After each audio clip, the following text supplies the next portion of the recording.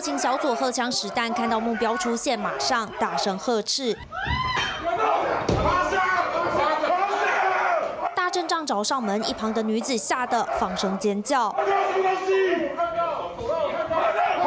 光着身子，狼狈落网，被压制在地。原来他是暴力讨债集团主嫌，而且涉嫌十月中这起案件。号召大批人马在派出所外叫嚣，还出手推挤，整个场面差点失控。决定可以让你们在为非作歹，是你们为非作歹。家庭债务纠纷演变成挑战公权力，最终暴力讨债集团被警方瓦解。动员警力三十五人，将首谋何沈两嫌及旗下成员共十人逮捕到案。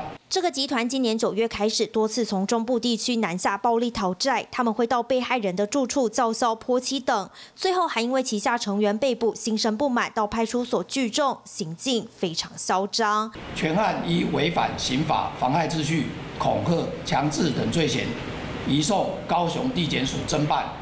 为首的何神两嫌，经地检署向法院申请羁押获准。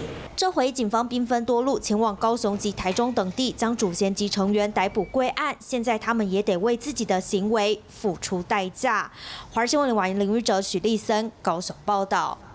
你好，我是宋彦明。想掌握最及时的新闻资讯吗？赶紧订阅、按赞、开启小铃铛，锁定华视新闻 YouTube 频道。